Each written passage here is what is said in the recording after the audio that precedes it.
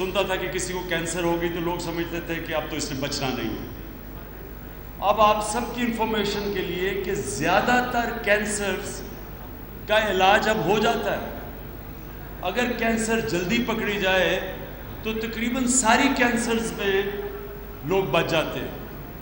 اور اتنی تیزی سے کینسر کی ٹریٹمنٹ میں اتنی تیزی سے نئی نئی ایجاد ہو رہی ہیں نئی انوویشنز ہو رہی ہیں۔ ایسی ایسی دوائیاں آ رہی ہیں کہ آپ آپ آپ آپ کو بڑی خوشی ہوگی سن کے کہ انشاءاللہ وہ دن زیادہ دور نہیں، جب کینسر ایک ایسا مرض ہوگا کہ تقریباً ساری کینسرز کا علاج ہو سکے گا۔ تو اس لیے سب سے پہلے تو میں یہ کلیئر کرنا چاہتا ہوں کہ کینسر ایک ایسا مرض ہے جس کا علاج ہو سکتا ہے۔ صرف یہ ہے کہ کینسر کا علاج تب ہوتا ہے کہ جب اب کینسر ارلی سٹیجز کے اوپر پکڑی جائے۔ خوشی ہو اللہ کا شکر ہے خانم کے پاس اللہ اب وہ مشرعی ہیں جس کو کہتے ہیں۔ جب سکین مشین کیسا وہ مرض ہوتی جی، سی کینسر ساری اب ڈیٹیکٹ کر آج ہوئی ہے۔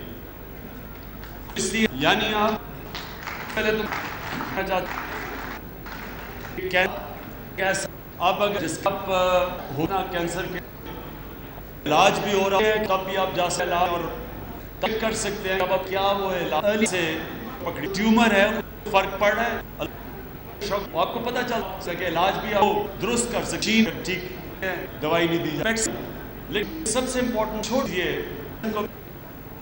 چھوٹی سی اب کینسر کا جو ٹیومر ہے، اس کو کر سکتی ہے پیٹس مشین اور دوسرا، اب جو بھی آپ زکاة دیں گے، وہ صرف اور صرف غریب کینسر کے مریضوں کے اوپر خرچ ہوگا۔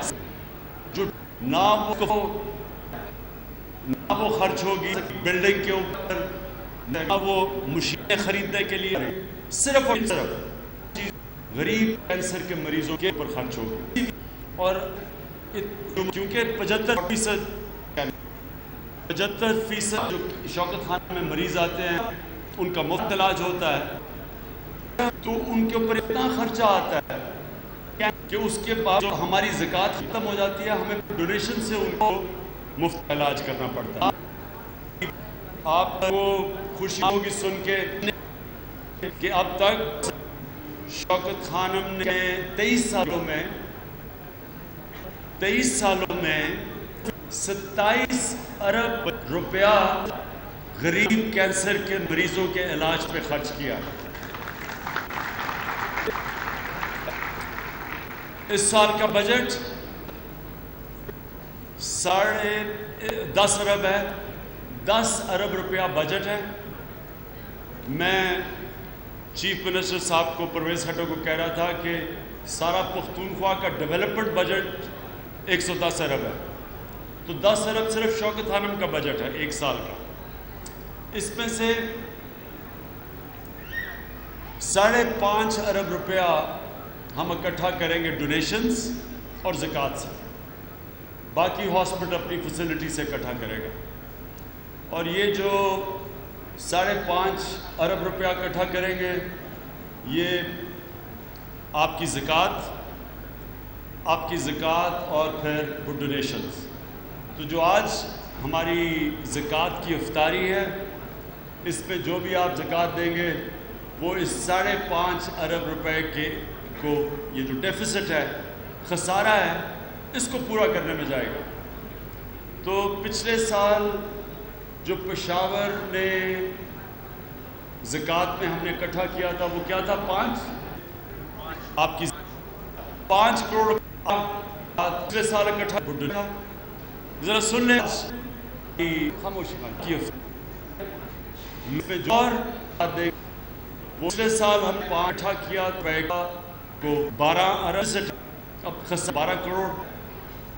اسلام آباد نے اکٹھا کیا۔ کروڑ جو نے پچھلے سال ذکر سیال اکٹھا ہم نے اکٹھا پایا تھا، پانچ اس سال لاہور میں ہم نے پچ کیا ہے، کیا چودہ کروڑ۔ کروڑ سے چودہ کروڑ پہنچ گیا۔ اسلام آباد میں چھ کروڑ سے ساڑھے آٹھ کروڑ پہنچ گیا سوری۔ سال اور سیال میں پانچ کروڑ سے سات کروڑ پہنچ گئے اور دیکھنے کی بات یہ ہے کہ کیا پشاور اپنا ریکارڈ توڑتا ہے یا نہیں توڑتا؟ یہ دیکھنے کی بات میں دیکھ رہا ہوں لگ گئی ہے۔ ماشاءاللہ۔ تو اب ہم کلیکشن شروع کریں گے۔ میں صرف آشر میں آپ سب کچھ جتنے بھی آپ آئے ہیں، آپ سب کا شکریہ ادا کرتا ہوں۔ میں نے پختونخوا کے چیف منسٹر اور اسد کیسر، آپ کا، آپ کو بھی ویلکم کرتا ہوں۔ آپ کو آپ کو کچھ آمدید کہتا ہوں یہاں۔